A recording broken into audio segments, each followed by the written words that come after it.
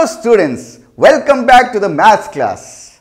In our last class, we have discussed some concepts about surface areas and volumes.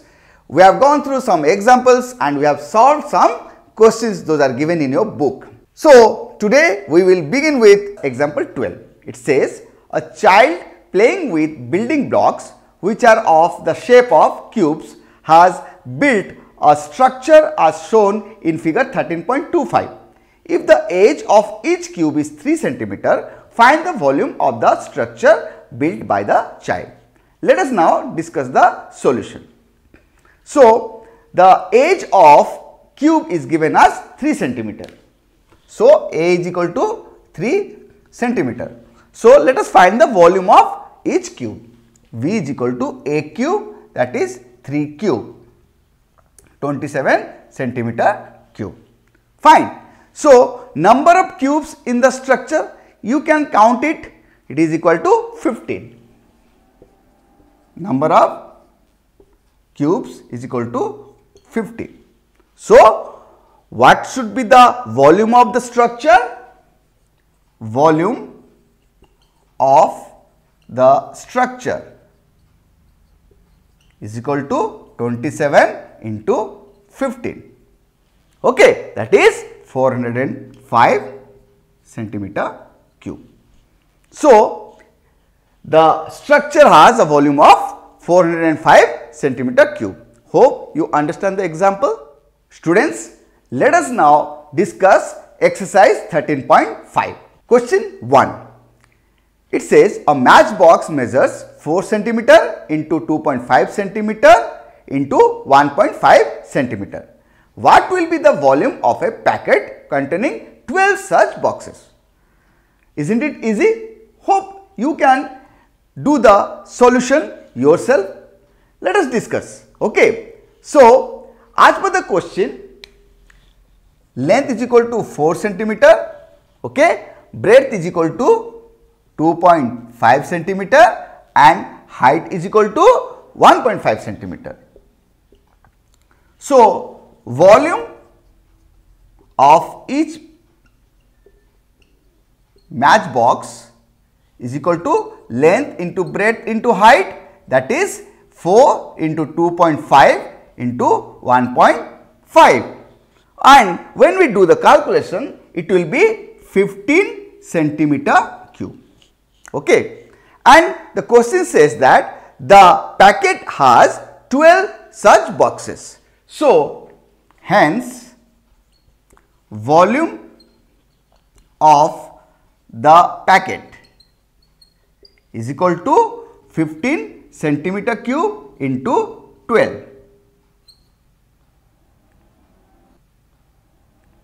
180 centimeter cube. Isn't it too easy? You just need to substitute the values into the formula and you can easily find out the solution. Okay. Let us now solve question number 2. It says a cuboidal water tank is 6 meter long, 5 meter wide and 4.5 meter deep. How many liters of water can it hold? Okay. And in the question it is given that 1 meter cube is equal to 1000 liters. Okay. You need to remember this and you can find it out as well that 1 meter cube is equal to 1000 liters. Now let us discuss the solution. As per the question, length is equal to 6 meter, breadth is equal to 5 meter and height is equal to 4.5 meter. Okay. So, what is the volume?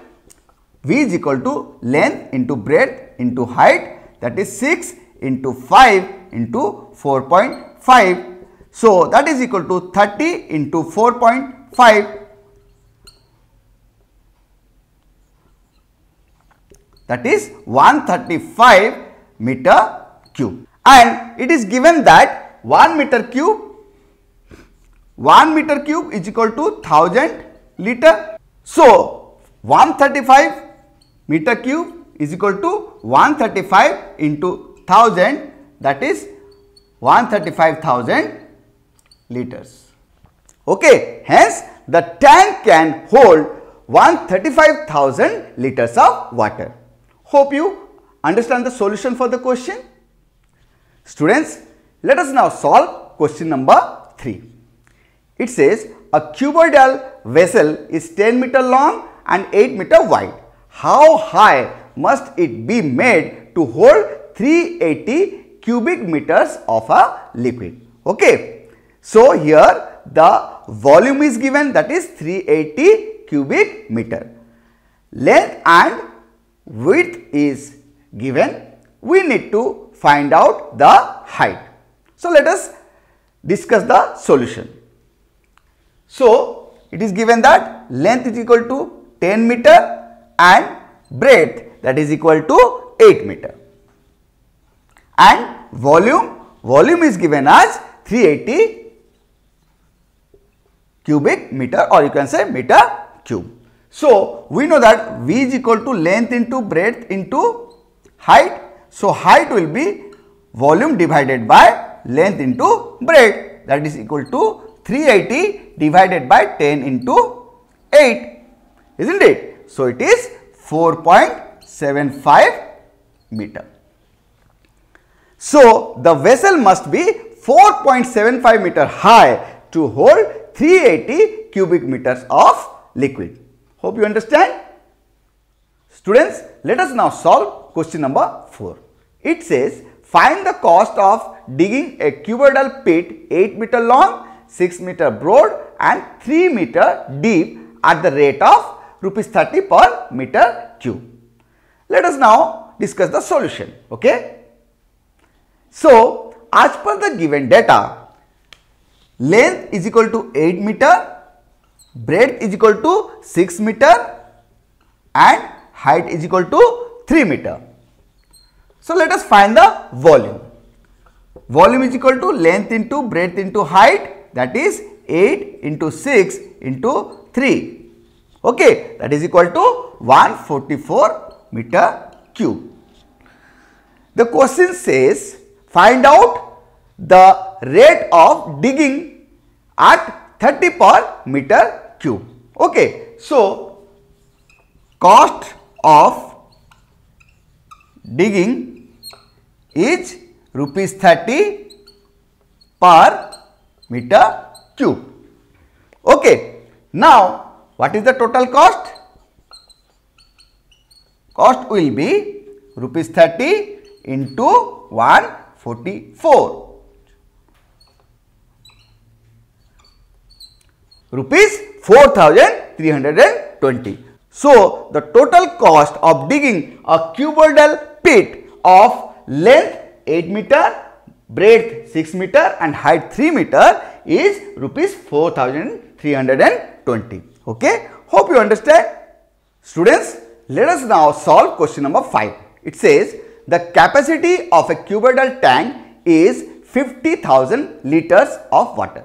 Find the breadth of the tank if its length and depth are respectively 2.5 meter and 10 meter. Let us now solve it. Okay. So, what is the given data? Capacity is 50,000 liter. Okay. 50,000 liter is the capacity. It is not the volume. Okay. So, we know that 1 meter cube is equal to 1000 liter. That means 50,000 liter is equal to 50,000 divided by 1000 that is 50 meter cube. So, the volume of the tank is 50 meter cube. Now, what are the given data for the dimension of the tank? It is length is equal to 2.5 meter and height is 10 meter. That means volume is equal to length into breadth into height. That implies 50 meter cube is equal to 2.5 into b into 10 that implies b is equal to 50 divided by 2.5 into 10 or 5 into 10 by 25 or it is 2 meter. So, the breadth of the tank is found to be 2 meter. Hope you clearly understand the solution of this question. Students, let us now solve question number 6. It says a village having a population of 4000 requires 150 liters of water per head per day. It has a tank measuring 20 meter into 15 meter into 6 meter. For how many days will the water of this tank last? Okay. So, let us discuss the solution. What is the dimension of the tank? Length is equal to 20 meter, breadth it is equal to 15 meter and height is equal to 6 meter. Fine. So, let us now find the volume. Volume is equal to length into breadth into height that is 20 into 15 into 6. 300 into 6 that is 1800 meter cube. Fine. So, water required per head per day is 150 liter isn't it? So, water required for 4000 people to be found. So, water required per day per head. It is given as 150 liter. 150 liter. So, for 4000 persons it is equal to 4000 into 150 okay it is 6 lakh liter okay now we need to convert. Okay? We need to convert into the volume. Okay? So we know that 1 meter cube is equal to 1000 liter. That means 6 lakh liter is equal to divided by 1000 that is 600 meter. So, this is the volume of water required for 4000 people. Okay? So, students we have found that volume of tank is equal to 1800 meter cube and volume of water for 4000 people is equal to 600 meter cube. So, let us find how many days the water will last. Okay. So, water will last for volume of tank divided by volume of water required for 4000 people. Okay, that is equal to 1800 meter cube divided by 600 meter cube 3 days. Okay. So, the water of tank will last for how many days? 3 days. Hope you understand the solution for the question. Students, let us now solve question number 7. It says a godown measures 40 meter into 25 meter into 15 meter. Find the maximum number of wooden crates each measuring 1.5 meter into 1.25 meter into 0.5 meter that can be stored in the godown. Let us now discuss the solution. So, the dimension of the godown is length is equal to 40 meter, breadth is equal to 25 meter and height is equal to 15 meter. So, volume is equal to length into breadth into height that is 40 into 25 into 15 that is equal to 1000 into 15 or 15,000 meter cube. Okay. We have found the volume of the godown. Now, let us find the volume of each crate. Okay. So, dimension of the crate is length is equal to 1.5 meter, breadth is equal to 1.25 meter and height is equal to 0.5 meter. So, volume is equal to 1.5 into 1.25 into 0.5 that is equal to 0.9375 meter cube. Fine. Now, maximum number of wooden crates that can be stored in the godown. Let us find it out. Maximum number of crate is equal to volume of the godown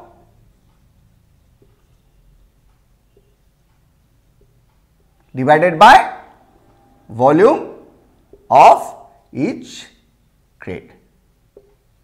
Okay. So, what is the volume of the godown? 15,000 meter cube divided by 0.9375 meter cube and when you calculate it comes up to 16,000 crates. So, maximum number of 16,000 crates can be kept inside the godown. Okay?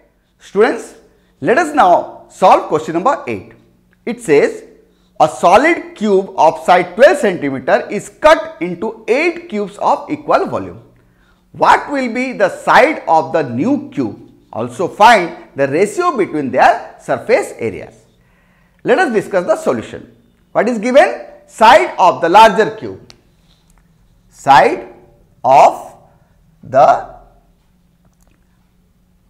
larger cube. Let us take it as A1. So, volume is equal to A1 cube. So, the volume is equal to 12 centimeter cube. Okay, that is 1728 centimeter cube. Fine. So, the cube is cut into 8 equal cubes of equal volume. So, volume of smaller cube is equal to 1728 divided by 8. So, it is 216 centimeter cube. Fine. So, if the edge of the cube is to be taken as A2, now we have found that A2 cube is equal to 2 and 6 centimeter cube. That means A2 is equal to cube root of 216 that is equal to 6 centimeter. Now, we need to find the ratio of their surface areas. Okay, let us find it out. So, students, we have A1 is equal to 12 centimeter and A2 is equal to 6 centimeter. What is the formula for surface area? 6a square. That means ratio is equal to 6a1 square divided by 6a2 square. That is equal to 6 into 12 square divided by 6 into 6 square. That is 144 divided by 36. Okay, that is 4 is to 1. So, ratio of the surface areas of the larger cube and the smaller cube is 4 is to 1. Hope you understand this. Students, let us now solve question number 9. It says a river 3 meter deep and 40 meter wide is flowing at the rate of 2 kilometer per hour. How much water will fall into the sea in a minute? This is a tricky one you just need to understand that the river is 3 meter deep and 40 meter wide and it is flowing at the rate of 2 kilometer per hour. It is flowing with a rate. Okay. Students, let us now discuss the solution for this question. Okay. What is given? Depth of the river. Depth means height.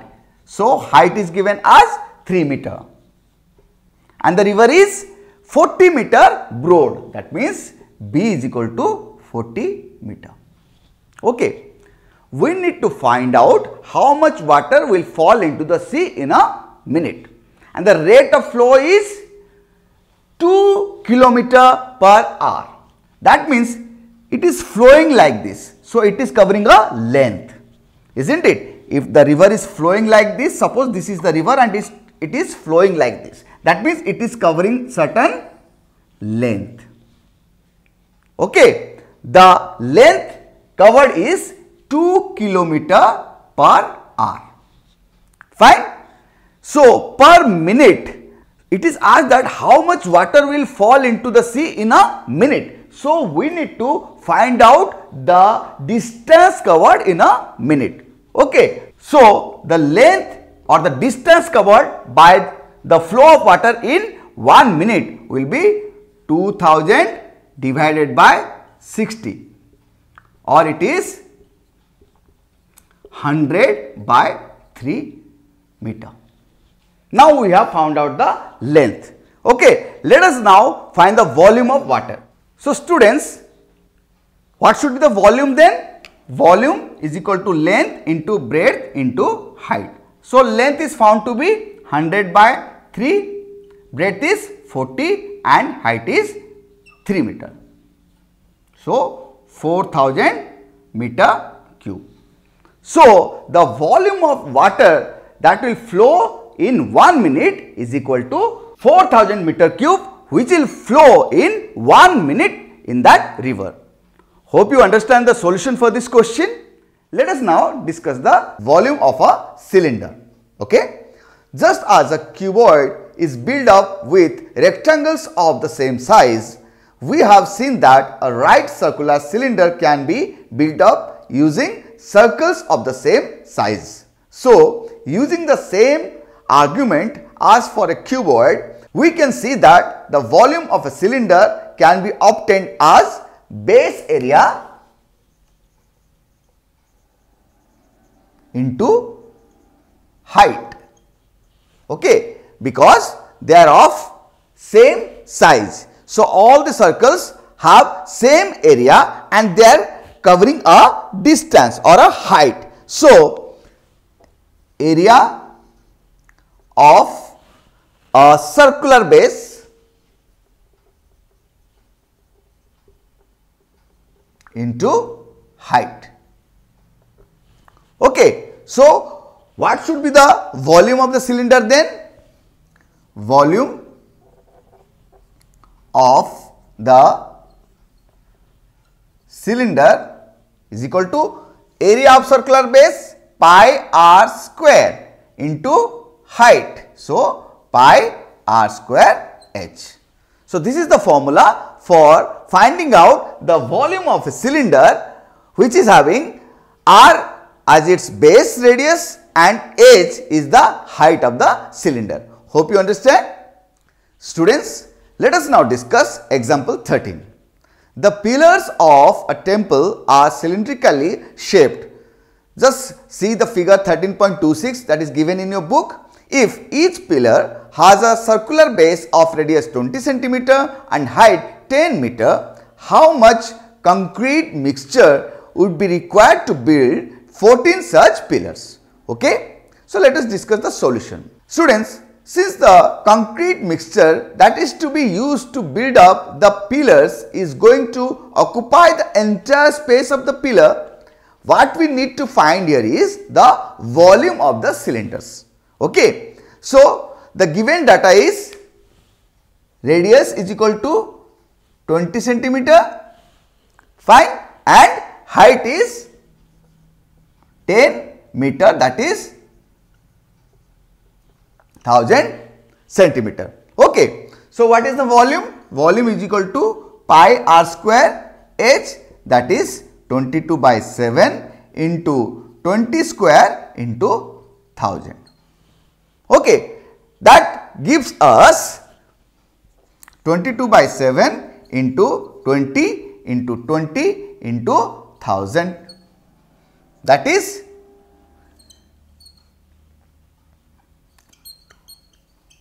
by 7. So, students this is in centimeter cube because we have taken the unit as centimeter. So, the volume is 88 lakhs centimeter cube. Okay. So, we know that 10 lakh centimeter cube is equal to 1 meter cube. Okay. So, this is to be converted to meter cube and when we convert it to meter cube, it becomes 8.8 by 7 meter cube. When we divide 88 lakh by 10 lakh, it gives us 8.8. So, 8.8 meter cube and the volume will be 8.8 divided by 7 meter cube. Okay. Now, volume of 14 pillars we need to find out. So, what we need to do? We just need to multiply this value into 14. So, let us do it. So, volume of how many pillars? It is 14 pillars. 14 pillars is equal to 8.8 divided by 7 into 14. 7 2s are 14, 17.6 meter cube. Okay. So, the volume of 14 pillars is found to be 17.6 meter cube. So, what was the question and what we were needed to find?